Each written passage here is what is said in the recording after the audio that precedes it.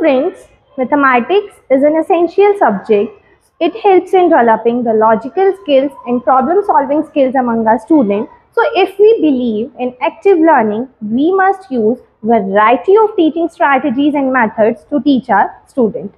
So I developed different games that helps in teaching the mathematical concept to students. So let's dive into the details of these mathematical games called mathematical adventures. So let's start with the magic board game. So this is the magic board game. This magic board can be used to teach various mathematical concepts to our students. So let's start with our first cutout. This is the even number. We can ask the student to put this cutout on the magic board and ask the student to read out the even numbers between 2 to 100.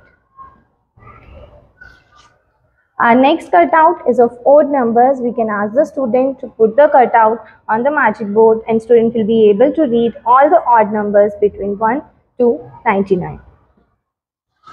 Further, there is another cutout of increasing order. We can put it anywhere and ask the student to read all the numbers in an increasing order and further in a decreasing order. We can put it anywhere on the board and student will be able to tell the decreasing order and increasing order numbers. Again, there is a 3 by 3 matrix. We can put it anywhere on the box and ask the student to add these three numbers and add these three numbers. Student will be able to check their numbers. The diagonals of these three numbers and these three numbers will be the same. We can put it anywhere on the box and student will be able to uh, check their answers. Thus the diagonals will uh, will be the get the same answers again there is a 2 by 2 matrix we can put it anywhere and ask the student to add these numbers and these two numbers and student will be able to tell that the diagonals of the sum will be the equal. We can put it anywhere and student get various uh, mathematical uh, addition questions and they can check their answers themselves too.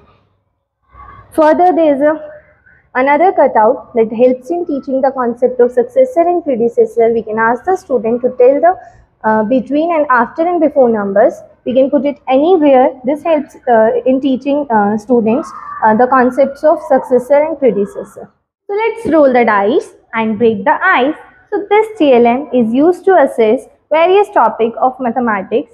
When we want to assess student, we can ask the student to play the Ludo as they always play and as they move further, we can increase the difficulty level of the question. For example, uh, here's a slip student get the number 29 we can open the uh, slips and student have to answer the question. If we get the correct answer only then he can move further. So if we want to assess any topic like addition subtraction division we can change the slips as per our need and student will be able to answer the question as per their levels.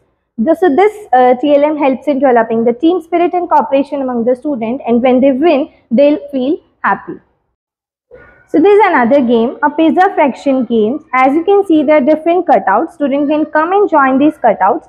The student who will complete the cutouts first and make the pizza will be the winner.